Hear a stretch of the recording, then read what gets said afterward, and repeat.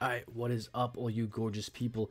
I have a very important uh, Ren update for you guys. I recently just took a short trade, and I also want to talk about Ren and uh, its long-term future, and how, in fact, the more I learn about Ren, uh, the more I look into it, the more bullish I get on it long-term. And I think Ren is actually a hidden gem that I do not hear or see a lot of hype about, and if it is indeed going to be successful in its efforts, I think Ren could actually uh, do very, very well long term. Uh, especially since I feel like not a lot of people know about it uh, right now. Not a lot of people have been talking about it, and so I feel like Ren is kind of like a hidden gem. And so I'm going to talk about its long term future uh, later in this video. And uh, at the yeah no and uh, but for the moment, I want to talk about this short I recently took because I do think Ren is short term bearish so let's delve into this. Uh, guys, I'm actually pretty impressed with myself in regards to how well I've been able to call Ren. Uh, uh, you know, we were in this wedge here. As soon as we broke out, I, I even said in a previous video, if we break out bullishly from this wedge, we're touching this red line. If we break out bearishly, we're touching this green line. And guess what? We broke out bullishly and we basically went to this red line. So, I mean, I was right. Unfortunately, I was not around to trade this.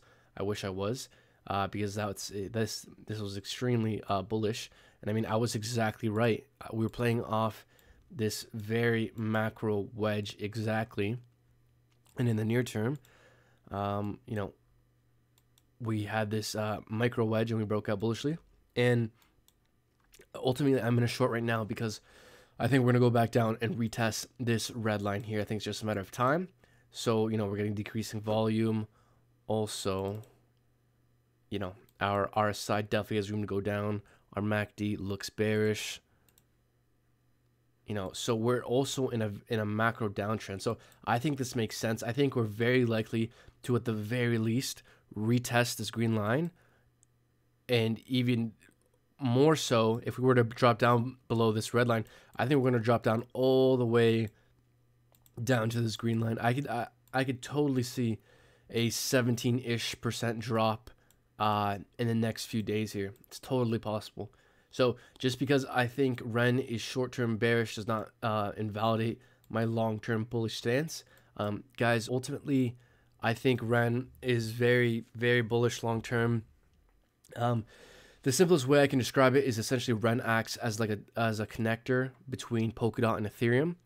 Uh, so let me read the summary of Ren here uh, a network of virtual computers that powers inter- interoperability for decentralized applications, enabling cross-chain lending, exchanges, collateralization, and more. So essentially, in English, um, one of the main implications of Ren is that it will help to connect uh, Polkadot and Ethereum.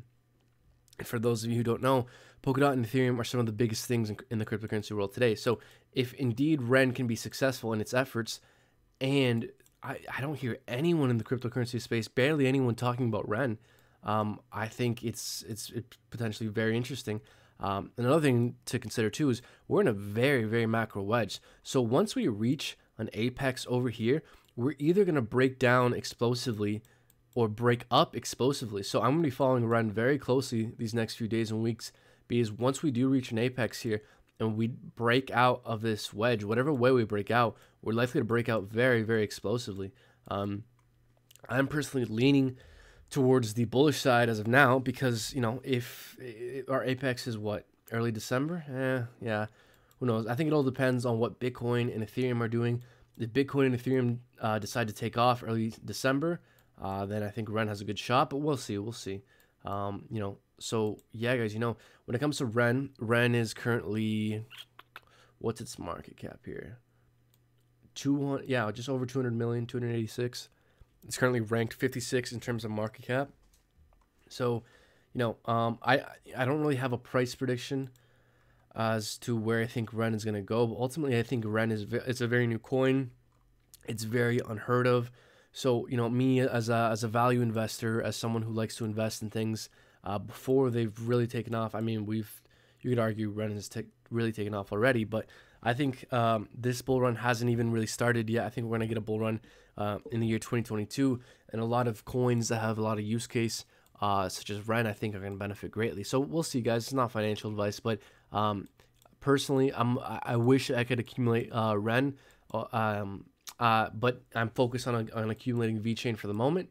Uh, but Ren is definitely very interesting uh, to me. I think it's a hidden gem, and I think once this bull run really gets going and people start to discover what Ren is, I think Ren has a good shot, good potential of doing well long term.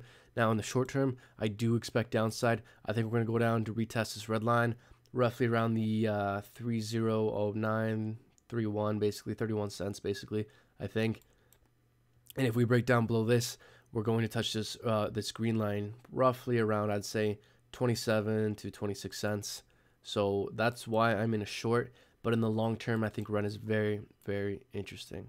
So, uh, guys, please like and subscribe. We're almost at a thousand, a thousand subscribers. Uh, thank you to everyone who supports the channel by uh, liking and subscribing. I appreciate the hell out of all of you. And, uh, you know, if you could help us get 2,000 subscribers, that'd be awesome. We're almost there, guys. So, um, yeah, that's it, y'all. Take care.